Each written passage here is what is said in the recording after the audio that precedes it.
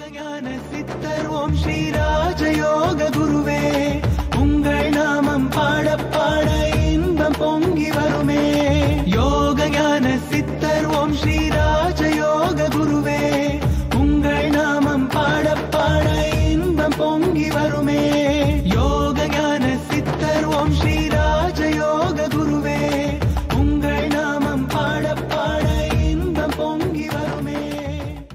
விடா முயற்சியாக நீங்கள் பயிற்சியை பயன்படுத்தினால்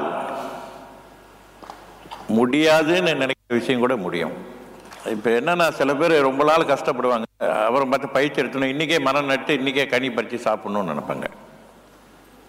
ஆனால் இந்த யோக சக்தி உடனடியாக வேலை செய்யும். இல்லைன்னு இல்லை.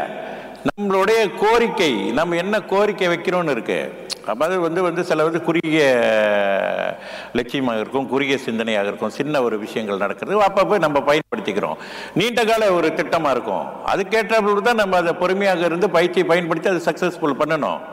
பயிற்சி எடுத்த பிறகு எந்த ஒரு முயற்சியும் செய்ய மாட்டாங்க.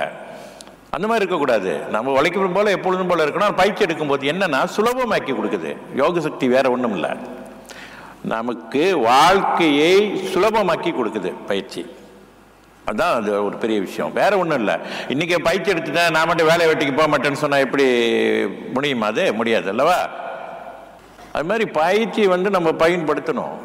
பயிற்சியை பயன்படுத்தினால்தான் அதில் உள்ள விஷயங்கள் தெரியும். தன் நம்பிக்கை ரொம்ப முக்கியம். தன் நம்பிக்கையோடு பயிற்சியை பயன்படுத்த வேண்டும். யோகஞான சித்தர் ஓம் ஸ்ரீ ராஜ